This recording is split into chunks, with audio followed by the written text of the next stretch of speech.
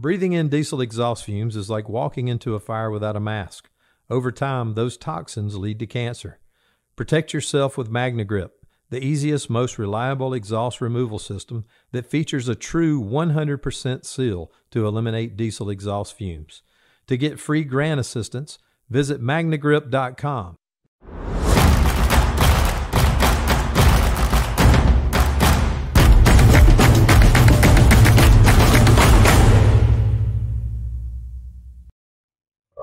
Alrighty, so good morning, good evening, or good afternoon, depending on wherever and whenever you're listening. Uh, I'll once again start with gratitude and thank everybody for tuning into the Perspective on Leadership podcast brought to you by Fire Engineering.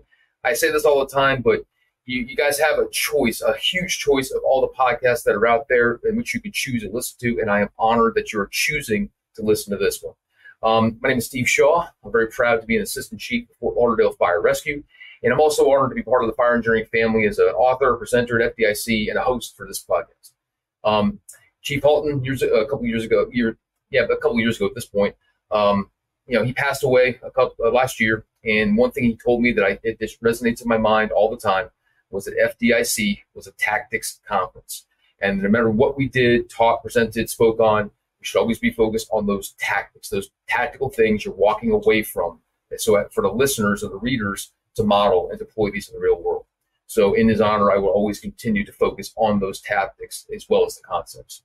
Um, just like every every month we do this, perspective is my passion. It, my personal journey as a student of leadership, I, I, continue to be fascinated by how perspective affects our ability to lead. Uh, the goal for this podcast is always the same as it's been on day one: take a concept or a trait that we associate with leadership and take a deep dive down that rabbit hole. There are so many amazing leaders out there in our fire service, and I want to pick their brains and allow them to provide as many tactical, immediately deployable takeaways as possible to the listener. I'm grateful to David Rhodes, Diane Rothschild, and the Clarion team, and especially my agency, Fort Lauderdale Fire Rescue, for allowing me to continue to have this platform so that I could do my part to pass it on to my brothers and sisters in fire service. So last month, uh, I had the wonderful opportunity to dive into the origin story of the Fools and that was with John Bart Simpson and Walt Lewis, two of the founding fools. And one person we mentioned during the conversation was Rusty Ricker from the Northeast Fools. Yeah, and um, and I met Rusty for the first time uh, a couple years back, having the honor of presenting at the 2022 Northeastern Fire Summit, presented by the New England chapter of Fools, which Rusty is the current president. And for those of you who don't know, the Northeast Fire Summit is three days of training and presentation in Wells, Maine. And this year it's from March 8th through 10th, and all the information can be found online. And we'll definitely be talking about that uh, closer to the end of this. Um, but what I remember about this conference, for, for many reasons, especially because how cold it was, uh, but more impactful were the firefighters who attended the conference. I was floored by this. I was floored by the level of attention and their focus. I mean, there was over 100 firefighters in the room, and they were all laser focused on the content. Every presenter, every every point they got up and did something. They were just laser focused the entire three days, and I've never seen that. Um, and I remember just scanning the room, and I was speaking, and not a single eye was on a tablet or a screen or a computer. They were all facing forward. They were all engaged. And I remember thinking, what is going on up here to drive or create or foster that level of motivation? So one of the ideas we spoke of last month was engagement. And I've been dwelling on this topic since we recorded the last show, engagement. You know, I asked myself, I would ask that if you haven't listened, first of all, to the podcast from last month, check it out. But one thing that Walton Bart covered that led to this successful Fools chapter was the idea of engagement. So as a student of the fire service, I reflected heavily in that. And, and am I creating an environment of engagement? Am I communicating regularly and fostering trust? Am I engaging with my family when I'm home? And I'm, am I all in when I'm at work? And am I all in when I'm at home? So I, I, called Rusty and asked him if he would be a guest this month so we could talk about that idea of an engagement a little bit more. So before I give him the mic, so Rusty Ricker is a third generation firefighter with over 30 years of experience in the fire service. Having begun his career as a call fireman in his hometown, he is currently employed as a career firefighter paramedic in Metro Boston. He is also the president and the founder of the New England chapter of Fools International. So before I give him the mic, um, there was just three things I was thinking of prior to our discussion today. First of all, is the idea that engagement is part of building a culture. And as I focus on the various areas under my charge, I ask myself more than ever, am I engaged with my team? Am I engaged with my family? What does engagement look like? So I'm really looking forward to dive into this. The second thing I was thinking of was Chief Rhodes' editor's opinion in the Fire Engineering magazine in January titled Your Local Training Conference. And I'm so glad that he focused on the importance and prevalence of the local training conferences that are out there, regardless of the size or uh, just how important these are. In South Florida, we're blessed uh, because we have so many of these around the corner. I mean, it seems like every month something's popping up from EMS to fire, hazmat, you name it. There's always something going on, and that's wonderful. Um, and the third thing is, and this kind of combines those two concepts, was the idea of this plus one mentality. So this is going to be a topic of a future podcast, but the idea of engagement plus what Chief Rhodes' words had had me thinking of the the multiple ways we can increase the the power and number of our groups, our teams, our committees, and and all that, and how we are going to and what we're going to talk about today aids in succession planning, empowering those uh, who eventually take our role one day, so whatever they may be. So Rusty, uh, thank you for joining me today. I'm, I'm excited to talk about a bunch of things, including engagement, but thank you for taking the time to join me today, sir. No, th- thanks for having me on. Uh, it, it, was an honor to be asked, honor to, um, to to be here with you today, and especially following on the heels of of Bart and Walt, who are uh, giants in the world of the fools. Uh, Walt's actually speaking for us this year about the the Northeastern Fire Summit. Walt is actually returning this year as a as a presenter for us. Yeah, yeah. Obviously, I know him pretty well. We run in the same circles down here in South Florida, but and I, I don't mean to, to, to harp on it, but that's an amazing conference you got up there, man. It, I was just so impressed by everything that that conference had, and I know we'll talk about it more, but um, and that's kind of why we're here talking about this today is what leads to that that engagement, that that that that uh, with itness that all those folk had up there. So um, but yeah, thanks for joining me today. I, would like to start off with something we talked about before, and you mentioned that you were a third generation firefighter. So I'd like to just dive into your history a little bit. So what did that look like growing up? I mean, was it even a choice not to get into the fire department? It wasn't. It wasn't. I'm not a direct third generation. My dad was. Oh, my sorry. My grandfather started in 1940. My dad got on in the early 60s. Both had since gotten through long before I got interested. Um, I still had uncles and cousins that were um, very, very engaged still in the fire service, but it was that step back. So it wasn't like I was always on fire scenes. I wasn't going to calls with my dad, with my granddad, or anything like that.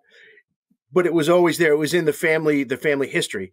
So it really wasn't much of a surprise when I walked in the station um, at you know 18 and a half everybody there had worked with with my dad, with my uncles and cousins, and looked at me and said, "Well, what took you so long?" So, and it's I will say from a family standpoint, it's not just that direct lineage on my paternal side, but on my mom's side, we go back to the 1800s in southern New Hampshire. I had family on the Exeter Fire Department in the 1880s, and my great uncle was one of the first paid drivers for the Northampton, New Hampshire Fire Department as well, which was kind of cool because I asked the chief, who's a chapter member and a friend, if he'd ever heard of the name. And 10 minutes later, he sent me a picture of my great uncle sitting in the watchroom sipping a cup of coffee, wow. which was, which was That's pretty cool. special. no, I, I, think about that a lot these days. You know, I, um, uh, right now I got, um, my brothers in Miami Dade. I got three cousins that are working for other departments around the area. So right now it's really heavily involved in my family as well. My father was we, we started as volunteer firefighters together in Coral Springs. He kind of pushed me to do it when I wasn't seeing what the value of it was. And then when I got in there, I'm like, oh, yeah, this is cool. This is what I want to do for the rest of my life. So I thank him for, for doing that. And as I have the kids that are growing up now, uh, some of my, my brothers and my friends' kids are getting to that age where now they're deciding what to do. So it's really cool to see what are going to be like second generation and so on and so forth. So, um, but uh, going back to um, some of the things we were talking about just earlier with like the conference and what I, I know I mentioned before, but um, that experience in, in 2022, I still brag about that, by the way. Every time I talk to people, I'm like, man, you got to check out this conference. I don't know what they're doing right up there, but they're doing something right. And that's kind of what the purpose of this podcast is. Um, I mean, the level of professionalism, the attention, the focus, 100 firefighters in the room, three days they were present for, and just dialed in the entire time. And we both been to a bunch of conferences. I've never seen participation like that before. I mean, we were talking about this before the show, how you'll scan the room sometimes and there's mostly engaged people, sometimes people on their tablets, sometimes people on a computer, making a phone call, getting up and leaving, coming back. But this was different, man. These guys were dialed the heck in. So break that down for me, man. What is going on up that way that drives that level of into the jobness, I guess? I think it's just the audience that we attract. I think we're very blessed with the fact that we bring people what they want to see and who they want to hear, yourself included, and um, they show up every time for us, and and you know we deliver, they deliver essentially. I think you're talking about laser focused. Um, the, one that really blew my mind was a couple of years before you spoke was um, Stevie Gillespie had come up and given his uh, post traumatic growth lecture, and Stevie's story is powerful. And if you've never heard it, um, I, I, urge anyone to look it up to to see him speak. He's a battalion chief currently down at Goose Creek, South Carolina. He's retired lieutenant from uh, from the FDNY. Stephen has had an incredible career, but his story is is is next level. And you know, you, you said everybody's on tablets or whatever. There wasn't even anybody clicking or tapping a pen for the two hours that Steve spoke that that one particular lecture, and that's the one that really sticks in my mind as to the level of engagement because it was the first time he'd ever presented it in front of people, and Steve's a friend. Steve's been a good friend for years, and um, to give him that opportunity for me was special. But it was incredible to see that everyone else in that room thought it was just as special as I did. Um, and a lot of times with with who comes and speaks and the presentations that are made and the presentations that are given it's just our friends that maybe are speaking at FDIC or are shaking out a presentation that they want to present at FDIC or any of the other conferences that have we give the opportunity to to come up and and speak. You know we pull the audience as to who else we can fill in with and a name will pop up like Steve Shaw, for instance. You got to get this guy up to, to, to speak, was what I was told.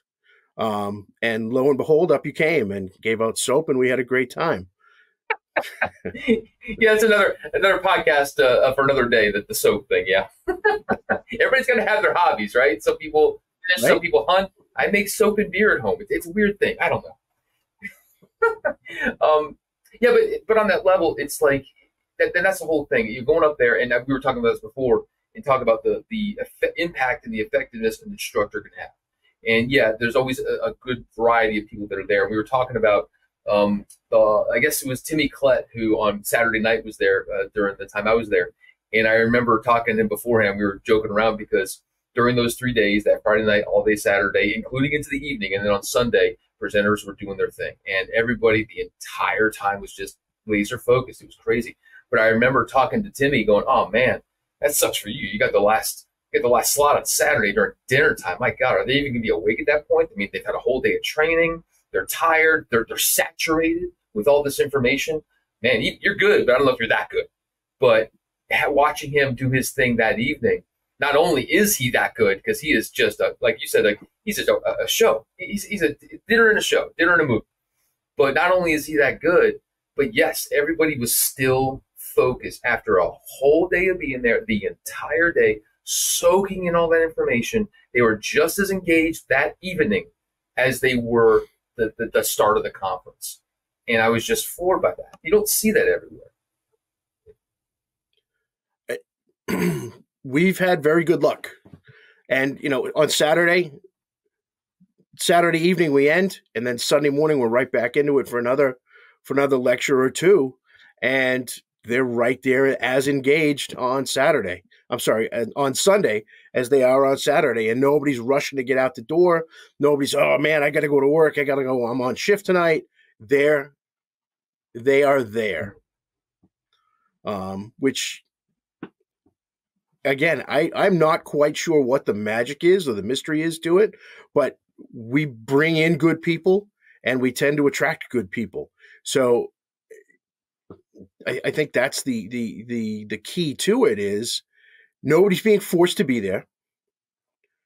No one's forced to be there. They're there of their own free will, of their own volition, and most of them are paying their own money to be there. So they're taking their time, they're taking their money, they're making yeah, they're spending their money, and they're there for all the right reasons. Which, as we say at every hands-on that we do in every lecture series that we do, the people that need to hear that stuff aren't the ones that are there. But hopefully those people that are there take it back and tell tell tell their coworkers about what they missed and maybe those are the people that show up the next year or at the next event. You bring up a good point. Uh, that's something we hear all the time and whether it's the smaller conferences or a larger one like fdic that's something that we hear all the time. The people that need to be here aren't here but that's not a statement. It's, it's a call to action. What else do we do? What else do we do to increase those numbers? To take those people that maybe should be here? How do we engage with those? And I guess that brings me into the next question or the next topic is, um, you know, diving further into that importance of being engaged and or, or creating engagement. Um, I, I, know that it's definitely part of what's driving that level of, of involvement up your way. So for you, and I know that I think that Walt and and um, and Bart kind of gave me some idea of what that kind of looked like. In other words, you guys up there are not just putting on training events; it's a whole slew of things throughout a time frame throughout the year. Can you kind of dive yes. into what that looks like throughout the year? So we don't really have any set schedule per se. I know last year, last year was our 20th anniversary. So we tried to do, we represent, we represent all six New England states and at the conference last year, we took on the Canadian Maritime provinces as well. So we went international last year. Um, we had a half a dozen guys down from from New Brunswick, and they asked how they could join our chapter if they could, because the chapter that was up there had uh, had folded. I said, geez, I don't know. I sent a text to uh, the president and the vice president international and asked they say, hey, we don't see any borders if you don't. So on Saturday afternoon, Saturday evening, we went international, which is kind of cool. So, um, we our goal last year was to do something for our 20th anniversary in all six New England states. Um, we we succeeded, but we failed. We didn't get into all six New England states, um, but we're making up for it this year early by um, we've already got some plans to to get into places that we weren't last year. Um, we do the the biggest set thing that we do is we've been doing it for almost our existence. So 2004 was the first time we did a hands-on training, and we called it our spring training because we were the first ones out there doing it. None of the county attack schools were out, none of the state schools were out yet. So we were doing it that that first weekend in April ish. So we called it spring training. And we've done it pretty much every year since then as a hands on event. Uh, 2012, we began the Northeastern Fire Summit as, as a venture. We were doing it in February. We found that we were fighting the weather a little bit, so we pushed it back to early March. And thank you for that. Thank um, you for that. Yes. And like I said, last year we got a foot of snow on Saturday. So um, but eh, so that's really the, the, the big set thing that we do is is the summit, and we try to do a hands on in either April or May. Um, we tend to avoid July and August just because of vacations and oh, it's hot. Um, September we we we've always done. Geez, for the last 14 years now, I think we we do a class for York County, Maine, their Chiefs um, Fire Attack School weekend. We do a hands on for them every year in late September. This will be the fourth year we'll be going up towards Bangor, Maine, um, so way up north to do a hands on. Um, we'll be in Ellsworth again this year towards you know late October, which has been a like I said the, this this will be the fourth year we've done that. Just we've we've called it our firemanship event, you know, a little take on firemanship, but um, we did it in Bangor last year, and three, four years ago we did it as a straight lecture. Um, two years ago we did it. Three years ago we did it in in Ellsworth. We did it as a Friday afternoon, a couple of lectures, and then a day and a half of hands-on training. And then it, it, it worked well. It gave it exposed a different area of our membership to us because a lot of times people don't travel down to Mass or even even New Hampshire to train if they're if they're from, you know, up Maine, if you will, and um, it, it, gave us a pretty good um, destination to be as well. I mean, we were in Ellsworth. We had four guys from Chatham, Mass, which, if you know where Chatham, Mass is, it's on Cape Cod. They probably would have been better off taking a boat than taking the Chiefs car that they did and gotten there in a more timely fashion. But they were willing to travel. We were willing to host. So there we all were. So we, so far this year, we've already done, we had a, a target of opportunity in very early January on the New Hampshire seacoast. Uh, the Newcastle, New Hampshire chief was good enough to contact us about a, an acquired structure that he had.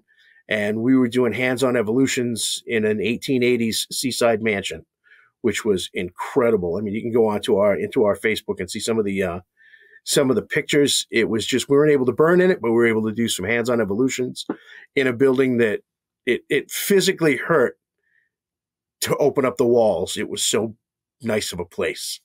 Um, the guy that bought it has more money than knows what to do with, so he didn't like it. It didn't fit with his aesthetic, so he was tearing it down and building another one. Um, to, to give you an idea of the kind of neighborhood it is, the bass player for Def Leppard lives across the street. So, you know, trailer park, just one step from a trailer park, right? So we, we were lucky enough to get into that. Um, he actually has another acquired for us before the um, before the summertime hits. Uh, we'll be going up into Vermont. We have um, an acquired structure we're actually be doing live fire in, or a couple of acquired structures we're going to be doing live fire in at some point in early May. Um, we just booked out um, a commercial fireground operations class in a big commercial building in Central Mass for early April before FDIC, as well as the the the Northeastern Fire Summit, which is the eighth, like you said, the eighth to the tenth of March. So so far we're busy and we're catching up with the places that we weren't able to get into last year. You know, first of all, I will say God bless all those who supply acquired structures for us. I mean, and I know some people can't do that. Some states won't even allow them. For us in, in Florida, it's hit or miss. I know in South Florida, in there's a handful of departments that can, and some that cannot. We in Fort Lauderdale have a tremendous SOP to allow us to do that. And we're very structured, very careful when we do it. But we're blessed to be able to do those. And with all the building going on out there, we're, we're greeted with acquired structure, or the, at least the opportunity to do multiple acquired structure training on a regular basis. Now, whether that's like you said, sometimes we can burn them, sometimes we can't.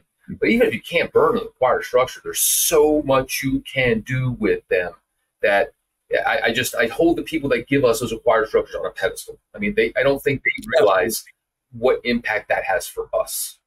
How how valuable it really is.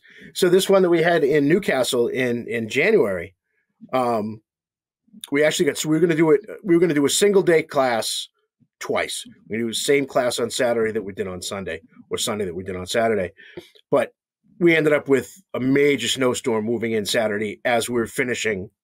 So we canceled on Sunday, which really wasn't a big deal. But what it allowed us to do was we did a little bit more on Saturday than we would have otherwise. So we got into breaching some walls, pulling some ceilings, opening up. Well, we found different types of building construction and we exposed some guys to different types of building construction that they'd never seen horsehair and plaster lath, wire mesh lath, and all these things that you find at some of these old, old houses up around us that you don't know is behind the walls, which was great.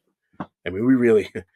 We opened some stuff up. oh, and you know, you can only do so much in a burn building or a Connex box exactly. or fire academy. You know, what's what's a what's a burn building set up as? What's the fire academy set up as? It's not set up as the two story, two and a half story frames that you're going to in your first due. It's set up as the fire academy. It's set up as a burn building. There are very few that are actually true, true to form set up to the buildings that we're responding to. Very few, which is a shame, but it's a fact. And, and I think that it, it's, and, and we can talk about this all day, but it's a combination. We're very blessed with some of the structures we have for training facilities out here. In fact, um, the previous training bureau that just uh, went back to the field, they did a phenomenal job in our area, uh, finally putting together a wonderful uh, Connex box city in our Wellfield area, and it's just it's amazing what they're able to do out there. And I I'm a very big proponent of it. But that being said, th- those acquired structures, like you just said, in terms of breaching walls and seeing what it actually looks like, everything from the electric to the roofs to the floors to all that, it's just you can't you can't replicate that. And going back to what uh, Chief Rhodes was saying about those local fire conferences.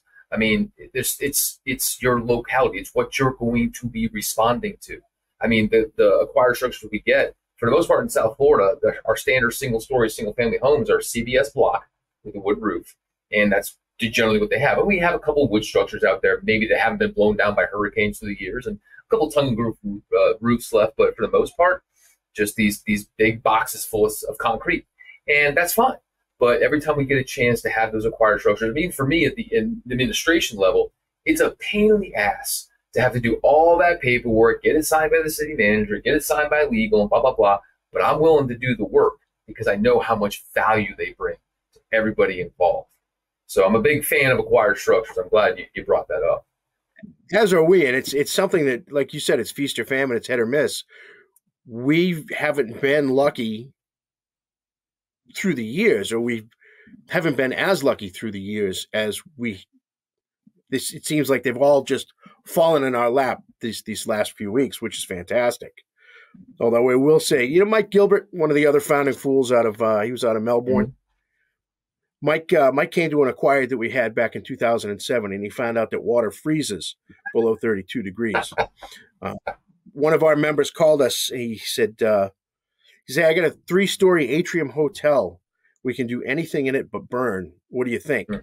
So I think I'll call you back in a couple of minutes. Hung up with him, started making phone calls to get instructors lined up. Called him back said, We are in.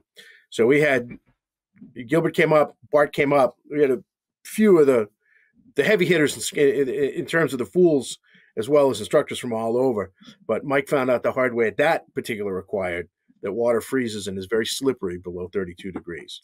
Yeah, I, am not sure what that looks like. I have no idea what that looks like, and I and I, I am very appreciative for where I live. I'm very, I, I respect the hell out of everybody that has to deal with that. And and even when we are talking about like the different weather conditions, I guess as much as I'm uh, very happy I don't have to deal with what you deal up there, I'm sure people don't want to deal with the hurricanes we have to deal with down here every so often. Those can be long term pains in the butt, to say the least. A, a blizzard never blew my house away. Fair enough.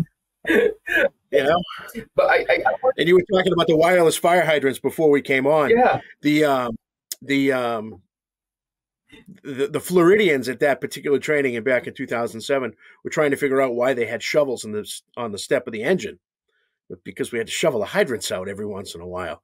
And the whole concept of that was foreign to them. Oh, yeah. It was, they were, their minds were blown. It was pretty funny. Yeah. I was, uh, I was attending a, um, that class in Pueblo, Colorado, that, uh, that, um, federally funded class, uh, for, I think it was hazmat years ago for in Pueblo. And as I'm driving the, the rental car up to Pueblo from the airport, I'm with another firefighter who happens to live around the area, and there's ice on the, the front windshield. So he looks at me and goes, "Grab me the ice scraper." I'm like, "The what?" He goes, "Grab me the ice scraper." I'm like, "What? What? I don't know." And he's almost yelling at me. He goes, "Steve, give me the ice scraper. It's right next to you." I go, "I don't know what you're talking about. I don't know what it is. I thought it was like a dog comb or something. I had no idea what it was." I'm like, "Oh, this is an ice scraper. Here you go." So it's amazing what you don't know. That is. um, but but going further with this idea of engagement, um, so in, in our and I mentioned this before in our area in South Florida, we're, we're blessed. Um, uh, the the chapter down here in the South Florida Fools, they're they're amazing, and just watching them, especially in the last few years, just flourish has been something of a blessing. I mean, uh, from uh, Mickey Tefexis, uh, giving it to Max Flashen and all the people involved with that group right there um, they've just done such amazing work with what they're providing. And it, it went from just providing an occasional class to collaborating with like the Florida Fire Chief, not Florida Fire Chiefs, but the, the Broward County Association of Fire Chiefs and their training group, and then doing more training and more training. And it seems like the, the what they have lined up last year and going into this year has just grown and grown. But going to kind of what you were saying, they've just been it's been constant. It hasn't been sporadic in nature. It's been like you expect this is going to be a busy year. There's going to be multiple events throughout the year. And it's just, it's just, we know we, we are expecting something. In other words, eh, they've, they've generated a groundswell. They've generated some momentum out there. But I know it's not all like just training. What else would you say? And I ask this definitely for, for, for learning purposes because as Max has taken over and he's got his own vision of how he's going to grow and, enthuse that.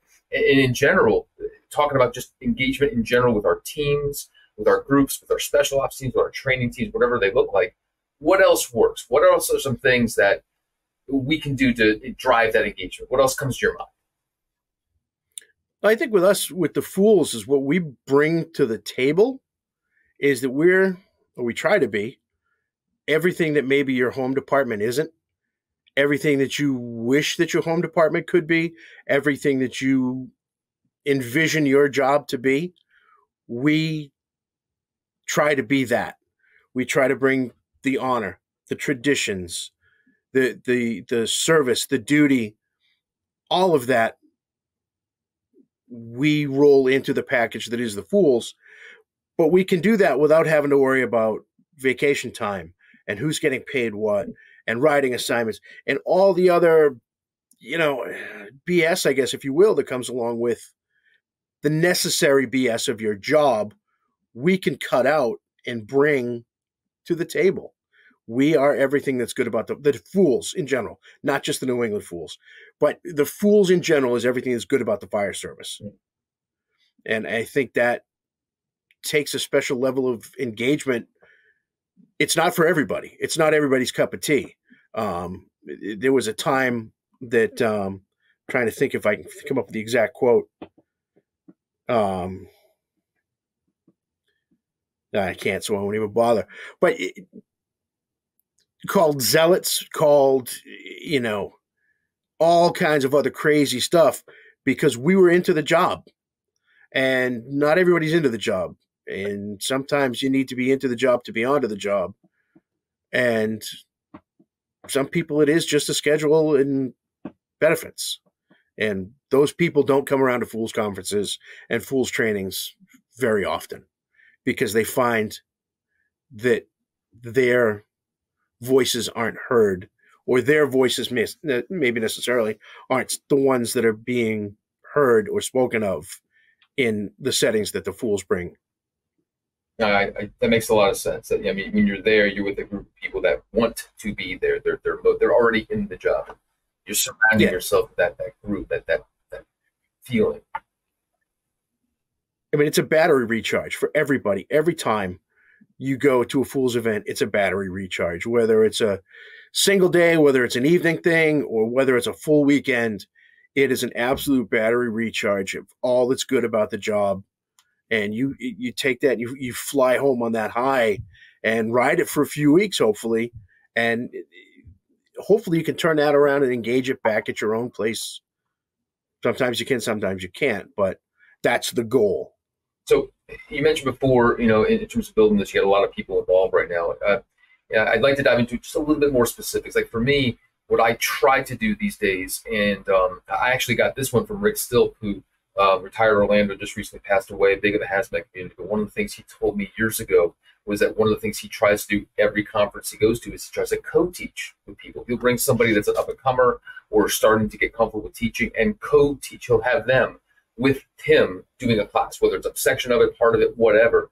But he gives them the audience the opportunity to step in front of people to just get their feet wet, if you will. And I find when he told me that, I'm like, why am I not doing that? Why am I not doing that more? So now I try religiously to do that. And I've done that a couple times uh, in the last year. And I just did it at the beginning of this year with one of my new uh, chiefs. The idea of trying to bring them into the fold. Uh, so that's one of the, the, tactical ways I'm trying to drum up engagement, uh, succession plan, whatever you want to call it. Um, so, does anything come? Does do anything? Does anything come to your mind? It's like some tactical ways to deploy that, like for the guys that are coming to these events or in general. Well, that was one of the reasons for bringing the leadership. So we changed it up a little bit. You were there in 22.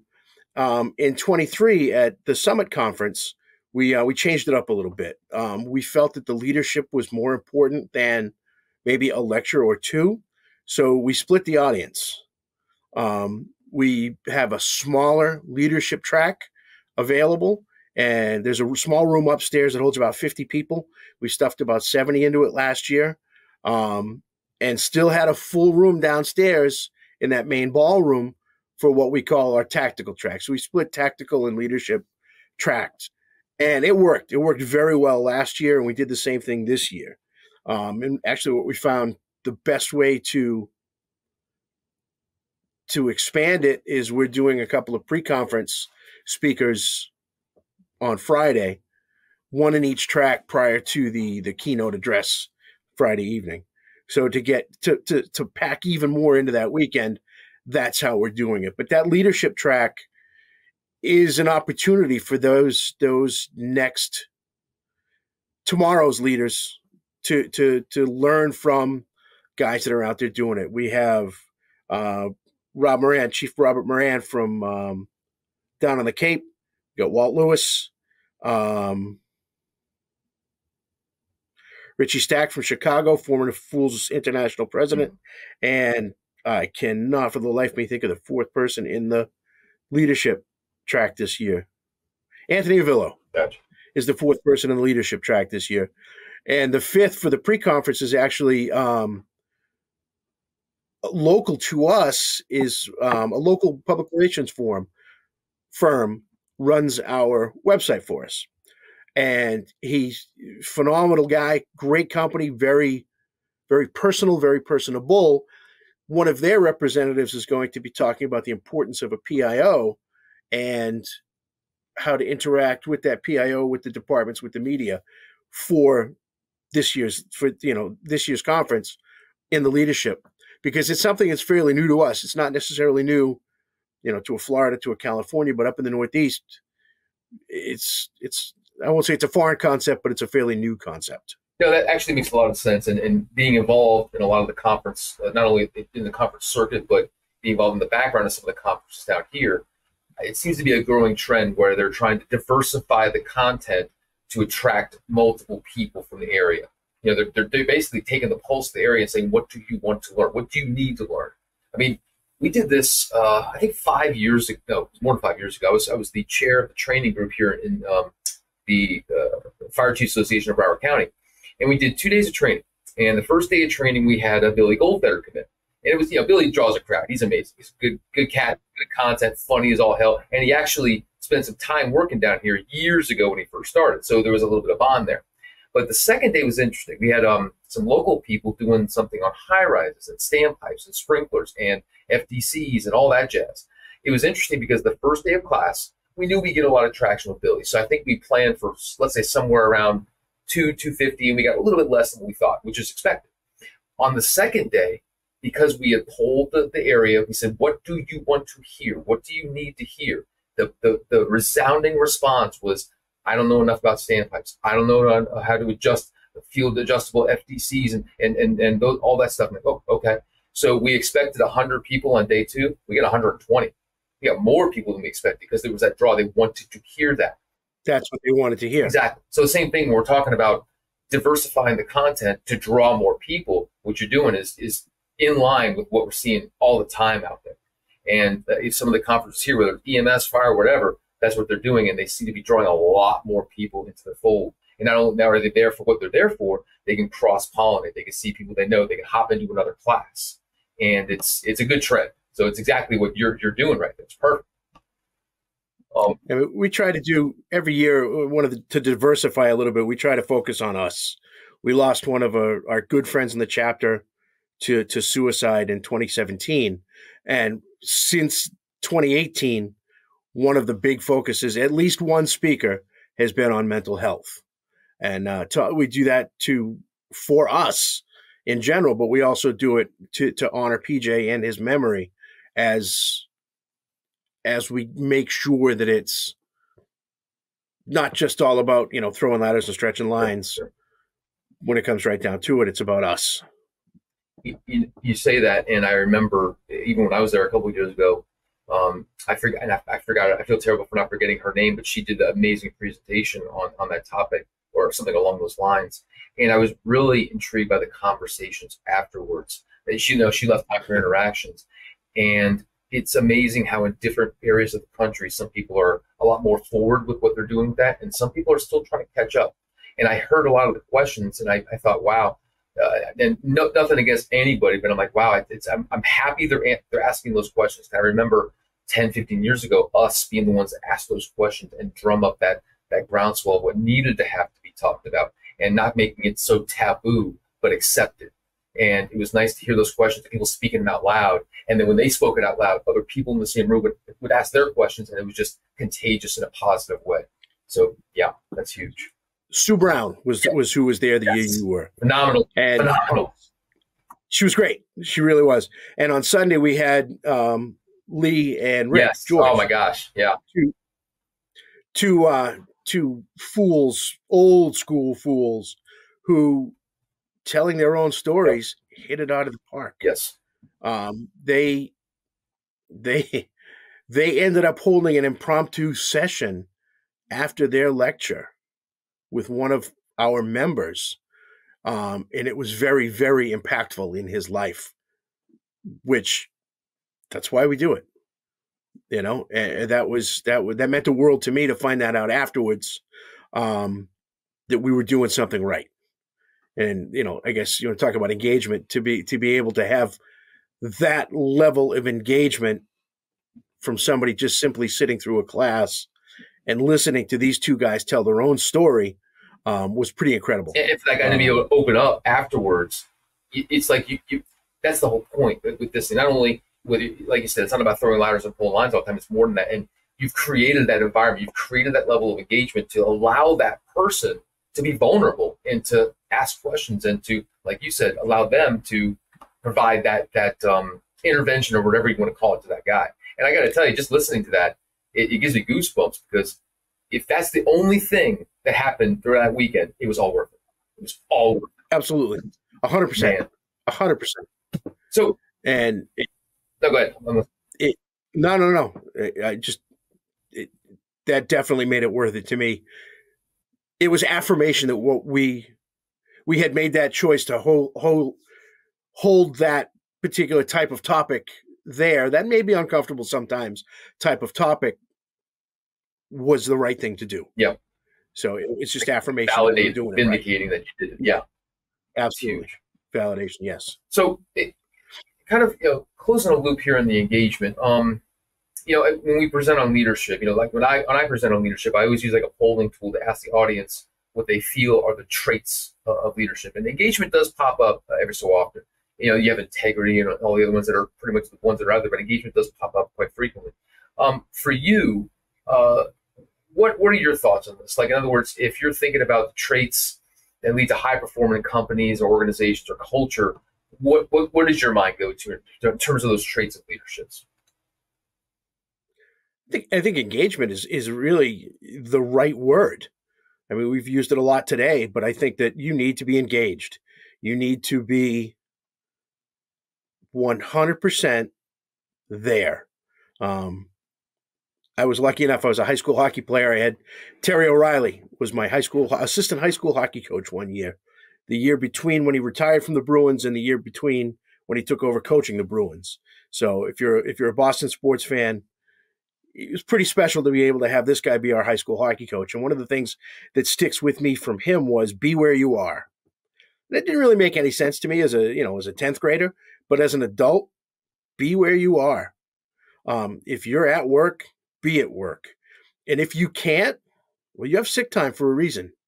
I don't need, we don't need someone whose head's not in the game to be in that front seat, in that boss's seat, um, running the show. If, if you're worried about what's going on at home or your finances or, you know, your, your dog's pregnant, your wife's pregnant, your girlfriend's pregnant, whatever it might be, be where you are, be engaged, be at the station, be with your people when your people need you. And eh, eh, to that, I think a lot of old school people get this portion, but it's not always there with our newer leaders is there needs to be a degree of selfish selflessness. Not saying that today's leaders are selfish, but there needs to be a degree of selflessness you need to be willing and able to put the job, the company, the whatever in front of everything else, including yourself. And if you can be that type of leader that's all in 100%, then it's going to make you a better leader and it's going to make people want to follow you. And it's hopefully going to improve the other people around you and make them want to lead in that same same style, that same method. I, am very happy you you chose that and, and dove deeper into it. And I, I think about all the things of what that looks like in my mind. I see so many ideas of what that could be. And it could be something as simple as like for me, when I'm in my office and my team, somebody from my team comes in, you know, am I continuing to look at my computer, type it on the screen, or am I focused on them, drop what I'm doing, what do you got? And just focusing on that person. Because if I'm still on my phone, if it's still in front of me, if my, my email's beeping, if the phone rings and I get it, it's not it's not the same. They I, I want to make sure they understand I'm looking them right in the eyes and totally like you said, I'm being where I, I am, you know, and, and if they're needing my attention, I want to give it to them, make sure they know that I'm there, I'm focused on them. They're there for a reason. What do you need from me? And engage them. So, and, and on a broader scale, uh, you know, modeling that trait. I'm glad, I'm so glad you went there. My mind goes to so many different areas. Like they're all, we're all looking at the leaders. We're all looking at the ones that are supposed to be setting the example, being the model. And what we do is contagious. So if we are the ones that are engaged and communicating and there, we're modeling to other people around us what that looks like. We're not even we're not talking about it. We're doing it, and there's so much power in that. And you're right. I think that I guess the modeling part is what I go to. Is like, are we doing that? Are we making sure we're modeling what people need to see? Because a lot of these, I don't want to say younger people, but the, the generations that are coming in now, have they had that experience? Have they had that, whether at their family level, in school, wherever, or were they on their phones the entire time and they're looking down all the time? You know, they need that modeling that we, we're talking about right here. I came in under World War II vets and Korean era war vets in the call in the call department. I'm sure you did too. And Sunday morning was fire department day. Sunday was whether it was drill, training, you know, truck checks, whatever it was. It was Sunday morning. Unless you came in with a cup of coffee, you didn't get a cup of coffee in your hand until the floor was swept. That's how it was, whether you liked it or not. That's how it was. And I can't see that working today. But that's how I was taught, and that's how we were brought up. And it just, it's how it was. And that wasn't, it wasn't disciplined per se, but it was just how it was. And that was that. And that's how we did it. And nobody questioned. And I don't see that being something that would fly today. Mm. Unfortunately. Yeah, no, I got you. But but something else you said here, and it, it you you mentioned something, and it tied directly into it. But the comment of we have sick time for a reason. I think we should probably plaster that around the stations in a variety of different ways. I mean, in talking about being selfless, the, the, just using this as a very simple example, and I think a lot of us kind of see it differently now that COVID's here and gone, or not gone per se, but for the most part gone is the idea of yeah when you come in not ready to perform when you're like you said not there whether it's because you're sick or for whatever other reason that's taking you away from the job you're a detriment whether you're literally passing on a virus to somebody now they're getting sick and their family's getting sick or you're endangering your crew because you're not all there that's the, the definition of, of being selfless and I, i'm glad you you led with that that's that's something that needs to be talked about and reminded people it's like the idea that you have to, to tell somebody if they're sick, just call in sick, and, and, the opposite happens, or vice versa. They they use sick time for goofy thing. We can go on all day about it, but I'm glad you you led with that and gave an example. Um, so another question I have is, and this has become one of my, my favorite questions so far for the guests. Uh, when you think about everything going on in the fire service these days, do you have any concerns? In other words, uh, does anything keep you up at night these days?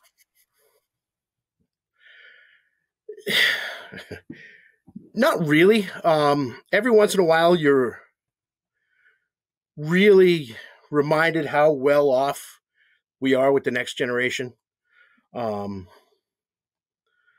we we hired a bunch of guys couple years ago now, probably three or four years ago at this point, and hands down, the best group of guys I've seen come into an organization in forever all into the job, want to be on the job, want to be there for all the right reasons. Um, they were a breath of fresh air.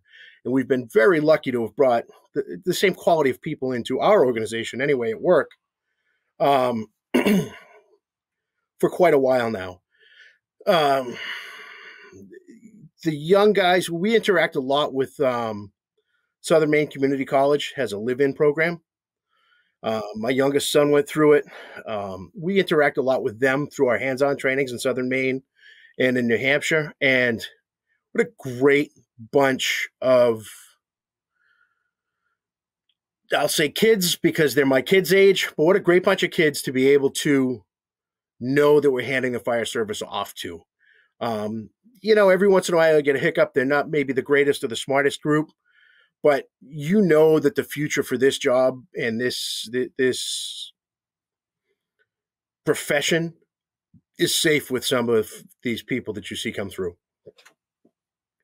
Um, so long as we take our job seriously to prepare them the right way and hand off traditions and tell them what needs to be done and why it needs to be done um, I, I, think we're in good shape. I think that uh, I think that the future is bright, and the brotherhood is strong, even if not everybody always thinks that way. So I'm glad you answered it that way because I think that you you answered it with a caveat. In other words, and I, I and I've seen the same thing down here in, in South Florida where you got these guys coming on board with a different set of skills, a different skill set yes, they may not have started a chainsaw or a, a partner saw in, in the past, and then we have to teach them that. Yes, they may have a lot to learn in terms of uh, social connections and whatever else. We can go down the line here. But I think that the most powerful thing you said right there, as long as we are doing what we're supposed to do, I think that right there is the perfect way to start uh, kind of closing out this conversation. Are we doing what we are supposed to do, passing on those traditions? and not only teach them the basic skills, but everything else that goes along with that. We we get frustrated, and I hear this a lot from uh, people out there. I'm sure you do too, where uh, it's it's a class thing. The next generation, they've never done this, they've never done that. They don't know how to cook, they don't know how to clean, they don't know how to. We'll teach them for for God's exactly. sake, teach them, and and that's we we preach this among the, the, training group we have here. We just had a class earlier this year. Uh, we did a, a workshop on for our new trainers and some of the ones around the county and we were talking about that concept where you have these people coming in that, let's say, don't know how to cook, don't know how to mix fuel for a chainsaw, don't know how, whatever. Well, isn't that an opportunity that you get to teach them that? And now they'll know something not only for the rest of their career, but their life. And you're going to side eye that? That's a, it's a gift. So, were you side eyed? Probably not. You probably had somebody grab you by the ear, bring you over, and show you how to do it. A lot. so why should why should we maybe not grab them by the ear, but proverbially proverbially grab them by the ear and show them how to do it? Yes. You know, I'll go back to when I started in the, on the call force. Um, we had, like I said, it was all World War II Korean War vets. We had one guy who uh, Gull Spalding and and Gull's thing was you damn kids. Everything was you damn kids. Well, I can proudly say I was one of those damn kids that took everything that he said to heart and learned from him and passed it along and passed it along and passed it along and along again. And it, it, to this day, I hope that we are doing the same thing to all those other damn kids that need it with whatever lesson that might be. Yeah, I I think this is the perfect way to start closing this up. I think that that idea of uh, what you just said in terms of like there is a lot of potential in this these new people coming on board. There's a lot of potential. There's a like you said, we're in good hands. We are in good hands as long as we are doing our part. It's it's a give and take. It's it's a balance, and I, I love that you, you you we're closing with that concept. It's very powerful, very it's it needs to be talked about. It needs to be talked about and reinforced over and over again. Um, and so that's kind of what I'm going to do right now. Is as I'm wrapping this up, is kind of reflecting some of the things we talked about. And once again, I, I I always take notes, and I always take notes in cursive because Nick Nick Papa did one day at a conference. I was watching him, and I, I saw him do it. I'm like, that looks pretty cool. I'm going to go back to writing cursive, and I started writing cursive. I don't know why. But you know, we. But can you read it when you go back to do it, though? I, I can. I can read that. Nobody else can read it because I nobody I, else. My, my handwriting sucks, and I can barely write cursive. But at least I can translate it. But we, we talked about a bunch of things, man, and um, I think that a couple of things I wrote down that I, are going to have me reflecting going forward is that you mentioned the comment that we say often when we attend these conferences is that the people that need to be here aren't here. And you know how to develop that plus one, how to draw people in, and we, we talked about a couple actionable ways. Whether it was like for me having someone to co-teach with me to bring them in, or you diversifying your content, now opening that up to multiple other people that maybe just didn't want to see how to throw a ladder, but now oh you got a PIO thing going on, oh leadership tactics. You're drawing more people in by diversifying that content, and I thought that was good to talk about we um we talked about the, the acquired structures and, and, a lot of training you're doing up there when you have the ability to do the acquired structures, kind of diversifying that as well. Um, you mentioned a couple things that stuck with me. In other words, for the fools, creating an environment that's everything your home department isn't, and focusing on the ideals that basically started with the fools, and and, and keeping those is pretty powerful. Um, you mentioned the idea of a battery recharge, and I think that was powerful too. No matter what that looks like in terms of a conference or a gathering or a meeting, or whatever, providing that ability to recharge your batteries with the people that you're surrounding yourself with. Because they're, they're, for the most part, those are the people that are in the job. They're powerful. Um, I, I love that we went into that idea of being where you are, being present and engaged, and, and just focus on where you are at that time. And I think that whole concept is something we could talk about for hours. But I'm glad you said it. Um, I think that you, you went into reinforcing engagement and then talking about selfish selfishness lists or self. Am, am, am, I, am I making up words? Selflessness, selflessness. Thank you. You're doing great. making up words. um, but I love the, our last part of this conversation in which you're not concerned about the fire service in the future. You're, you're happy with it. You're, you're content with the people that we're bringing on. You see a lot of potential in there but with the caveat that we have to make sure we are doing our jobs. And I think that as we wrap this up, that's one of the things that I'm taking with this as well, is that I'm not worried about the people bringing in, as long as we are doing everything in our in our scope to make sure they're prepared, not only how to do the tactical things, but all the other things that come with a, a career, a life of 25, 30 plus years in the fire service, and some things that we're going to teach them they're going to last a lifetime and that's that's what I'm leaving with with this conversation with. But um, but as we as we kind of close up here, what else is on your horizon? What else do you got going down? Where are you going to be in the next month and next year? What's what's on your horizon? I said we've got uh, we've got the Northeastern Fire Summit coming up in March. Um, after that, we're going to be up in Williston, Vermont, at some point, um, doing a live fire hands-on. We will be in Groton, Mass, April 5 to 8, doing a commercial fireground hands on. um, we will be back in New Castle, New Hampshire sometime before the summer breaks um, to do hands on. Not sure if it's going to be live fire or not. Uh, Fools International Conference is June, I believe it's the week of June 10th down in Baton Rouge, um, which is sure to be a good time. And um, beyond that, that's what we got going on up here in New England anyway.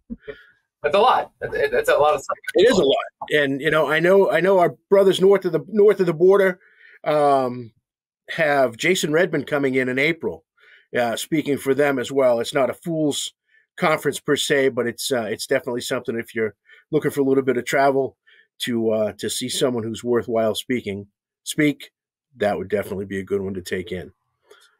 Um, All right. In terms of, go ahead. I'm sorry. Please, please, now, I, I, from for me, though, I would like to close with just the fact that um, in November, the New England Fools lost one of our greats.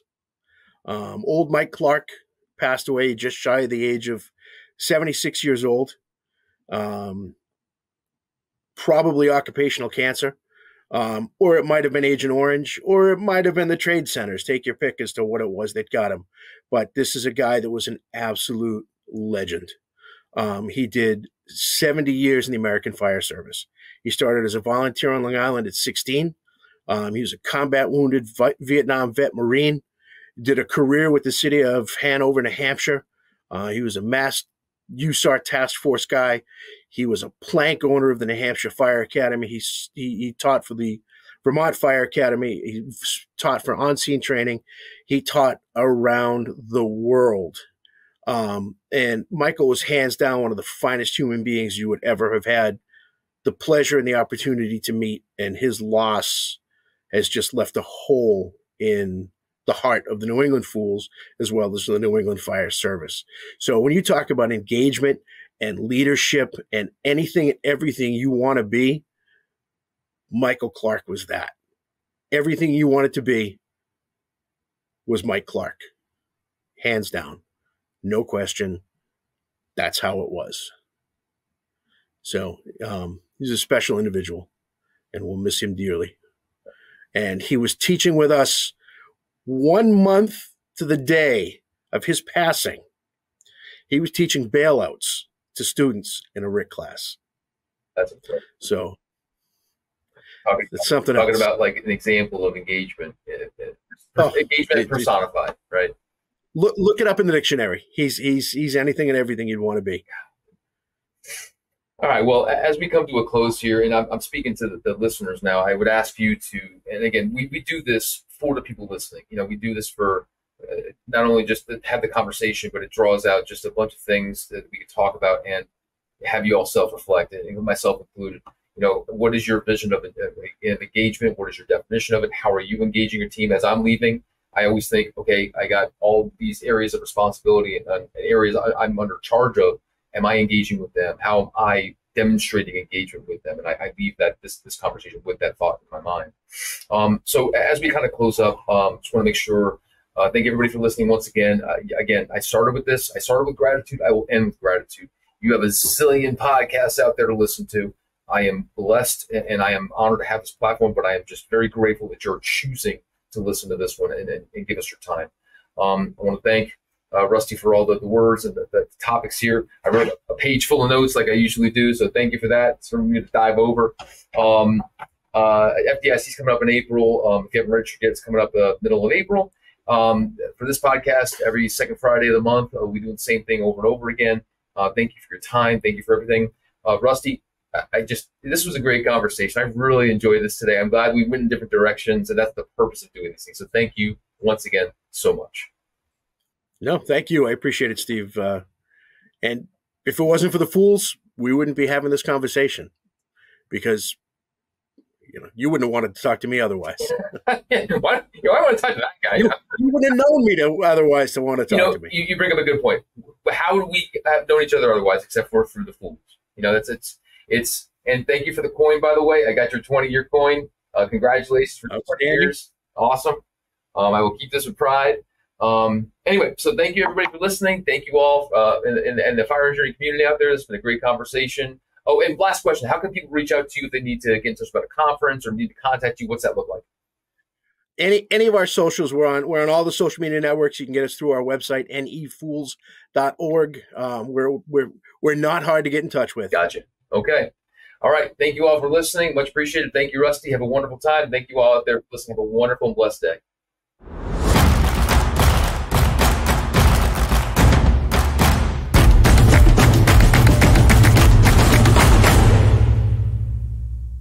Breathing in diesel exhaust fumes is like walking into a fire without a mask. Over time, those toxins lead to cancer.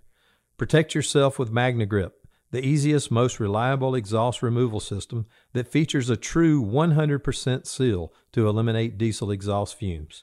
To get free grant assistance, visit magnegrip.com.